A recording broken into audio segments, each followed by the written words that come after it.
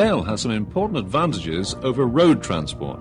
A single train driver can move 5,000 tons of freight, or more than 1,000 passengers, the equivalent of 125 heavy trucks, 16 buses, or 500 private cars. Because of the lower rolling resistance of the steel wheel on the steel rail, each road vehicle consumes three times as much energy to move the same payload. This low rolling resistance gives rail another advantage the train's ability to coast for long distances with the power shut off. All this adds up to a big energy saving advantage over our competitors. The consumption of energy in any form means the depletion of the world's precious and all too exhaustible natural resources at ever accelerating rates. We also produce pollution, poisoning the land, the water, even the air we breathe, creating serious ecological problems for future generations. In this age of environmental awareness, the railway can and must take full advantage of its inherent superiority over its principal competitor, road transport. This doesn't mean, however, that the railway can afford to be complacent. The LT&S alone consumes more than £63,000 in electrical energy every week. As train drivers, how does this concern us?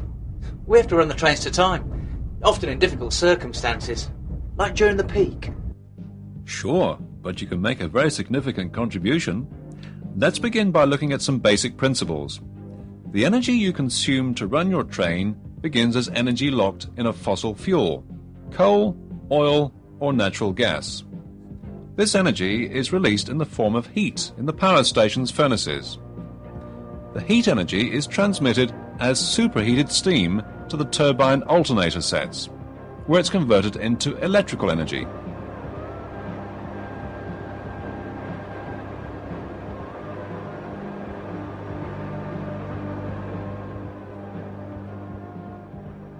In this form, it's distributed via the national grid to the meters, the substations, and finally to the overhead line.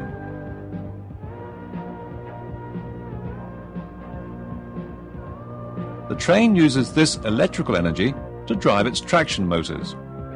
As the train accelerates, the energy is once again converted, this time to kinetic energy, the momentum of the mass of the moving train. Finally, when you apply the brake, the energy is converted back to heat energy at the wheels. It's here that the energy is lost, being dissipated into the atmosphere. Okay, so much for the physics lesson. I got that. But what do I actually do to conserve this energy? Remember what we said about low rolling resistance of the steel wheel on the steel rail? Well, quite simply, run your train with the power controller open to the minimum necessary to keep time. Let the train coast. Put another way, only convert the minimum amount of electrical energy into kinetic energy so that the train will coast to the next stop. Then you can brake later, losing less energy in the form of heat at the brakes.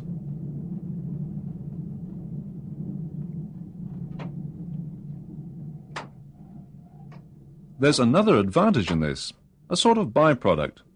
Less wear and tear on the brake blocks or pads, and less contamination from brake block dust. What you're talking about here is just good train handling technique. That's right, the driver's skill. Let's have a look at this in detail, beginning with stopping trains.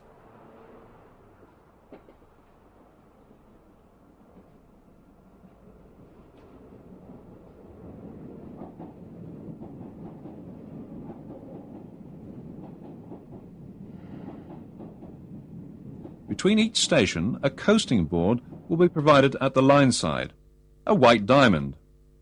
The sighting of this coasting board is carefully calculated for the characteristics of train performance and line profile.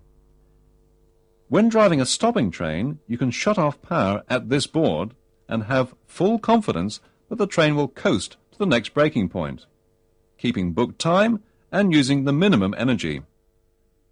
Let's take an example and see how this works in practice. from Leigh-on-Sea to Chalkwell is one and a quarter miles. In normal rail conditions, our driver starts away selecting notch 4 on the power controller, making full use of the maximum acceleration of the train.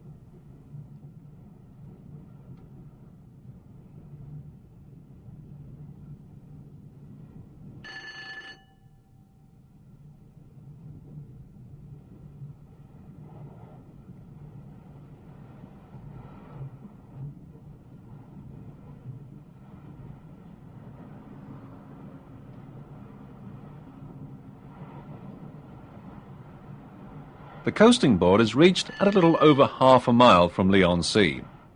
Power is shut off, the train speed is 45 miles an hour.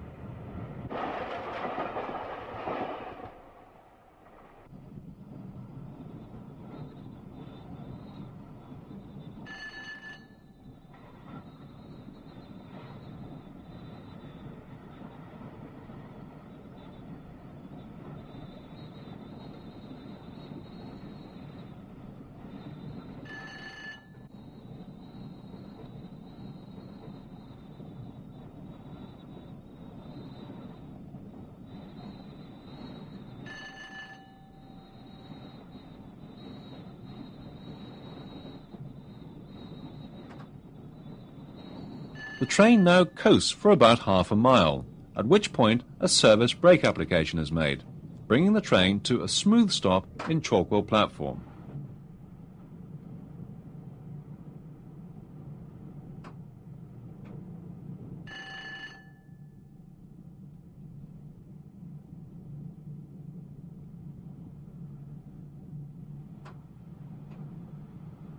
The working timetable allows two and a half minutes for this journey. Our train has taken two and a half minutes. Now let's ask our driver to ignore the coasting board and maintain power.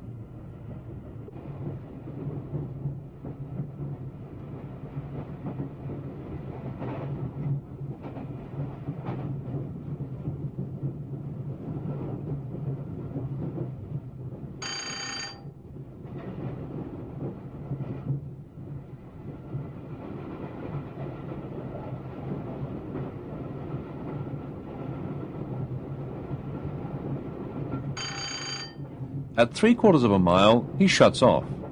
The train speed has risen to 55 miles an hour. He must now brake much earlier in order to make his stop in Chalkwell platform. When he does stop, we can see that he's gained 14 seconds on the book time. Handling the train this way has wasted energy and achieved nothing.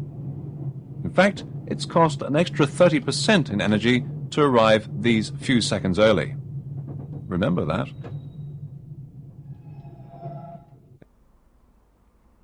Gradients have a big impact on energy consumption. Now gravity becomes a factor. Adding to the train's momentum when the gradient is falling, subtracting from it when the gradient is rising. This is why knowledge of the gradients is a vital part of the driver's route learning for all types of train.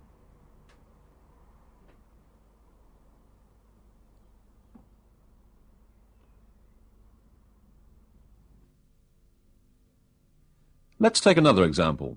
Again, the stations are situated one and a quarter miles apart, but this time the track is rising on a gradient of 1 in 100. The coasting board is now located at just over three quarters of a mile, so power must be consumed for longer to overcome the effects of gravity. However, even in these circumstances, our driver is still able to coast for more than one third of the total distance between stops, and still maintain the booked time. In our last example, the stations are once again one and a quarter miles apart, but the gradient is falling at 1 in 100. The coasting board is now only a quarter of a mile from the platform. After power is shut off, the speed of the train continues to rise. Aided by gravity, sufficient energy is stored in the form of the train's momentum to run nearly one mile to the next stop and still keep the booked time. Timetables are carefully compiled to take account of distance, maximum permitted speed, train performance, and gradients. So far, so good. But I've come across coasting boards that seem, well, frankly, incredible. Take the down road between West Horndon and Laindon. I reckon if I shut off at the coasting board, well, we'd be down to pretty near walking speed by the time I reach Laindon. OK, we'll try it. I'll bet you'll be surprised.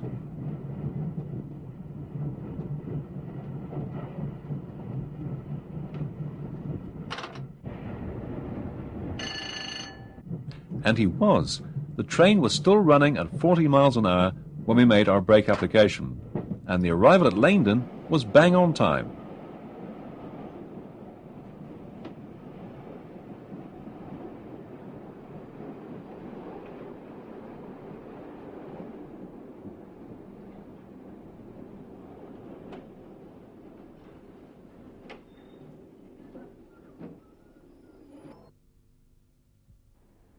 See what I mean about the low rolling resistance of the steel wheel on the steel rail?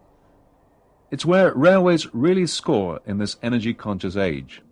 It's up to all of us to make the most of this big advantage over our competitors.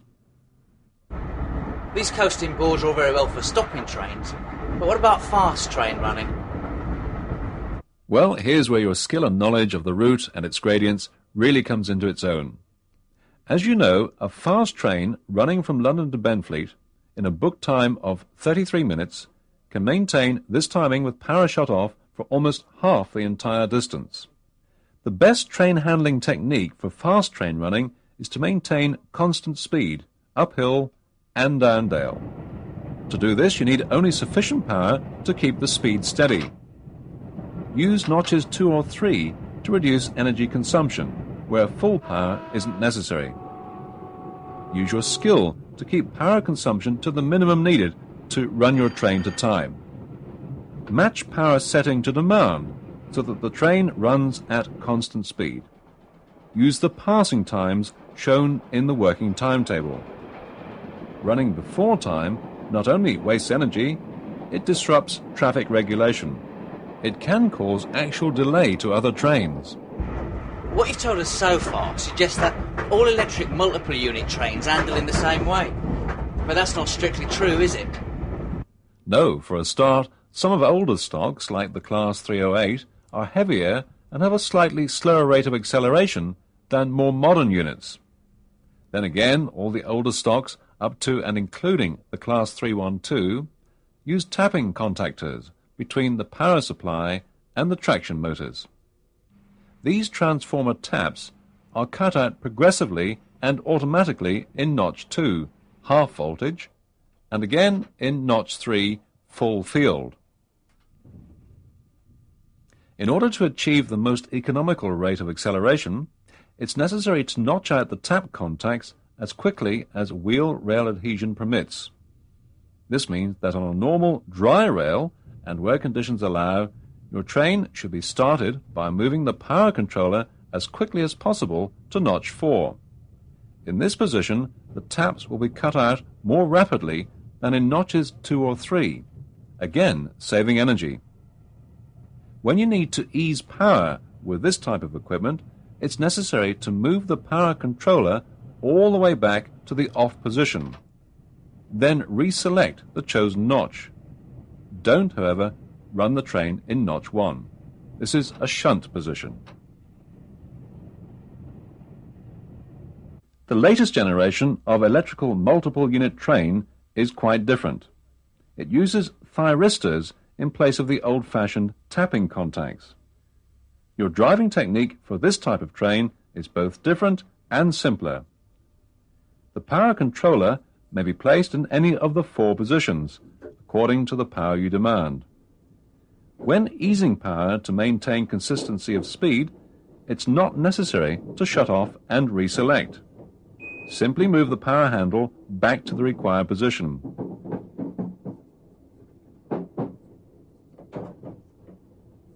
These modern trains are more energy efficient than the older units. Such modern technology enables you to use your experience, skill, and route knowledge to obtain even better energy conservation results.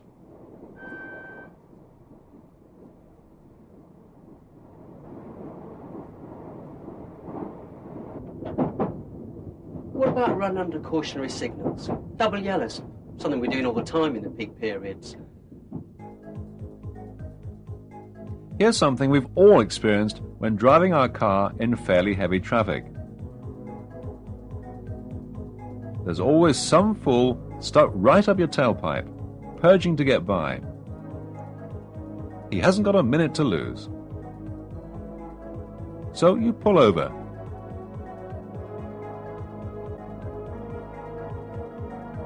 And away he goes, foot to the floor.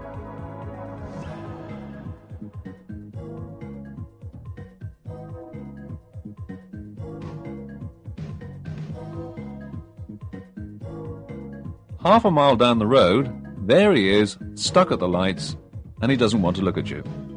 He's gained nothing in terms of time at the expense of greater fuel consumption and greater wear and tear to his car, to say nothing of his nerves. The same sort of thing applies when driving a train under cautionary signals.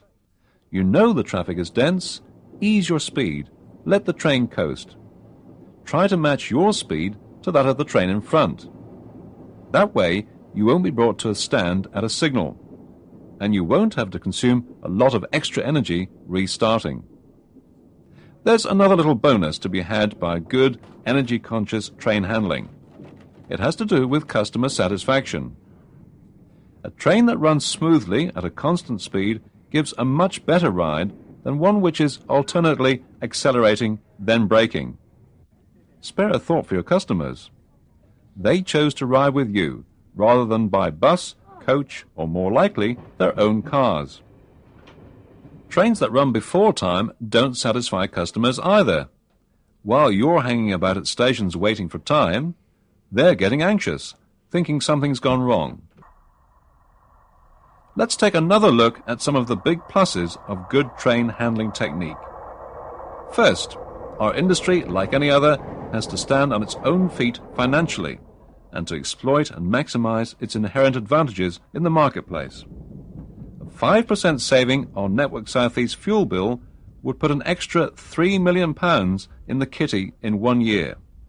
Or buy a brand new train like this. Drivers who keep the train on time and use their experience and professional judgment to consume the minimum amount of energy are thanked in a very special way. Hundreds of drivers have now been presented with Skill Coasting Awards to acknowledge their efforts. Um, likewise, Walter, um, on behalf of Peter Field, our divisional director, Mike Heckford, my train crew manager, Phil Barrett, the depot manager here, of course, who was the man who uh, brought this to my attention. Um, thank you very much. Pass the word out, Walter, to the uninitiated. Keep up the good work, and uh, let's see how big a chunk we can chop off our traction current bill and what we can do for the environment uh, in the next couple of years. Okay. Thank you very Thanks much. very much. Well done. Second, we can give a better service to our customers, more comfortable journeys, and less wear and tear on trains and staff alike. Third, by developing the sophisticated skills necessary to drive trains with precision, today's train driver can gain complete job satisfaction, taking pride in his vital role in a progressive industry with a challenging future. Lastly, we can play a leading part in the industry's contribution to reducing the global problems associated with depletion of the world's natural resources and the pollution and poisoning of our environment. The electric railway is the transport of the future. It's clean, it's quiet, and above all, it's energy efficient. It's up to all of us to make the most of it.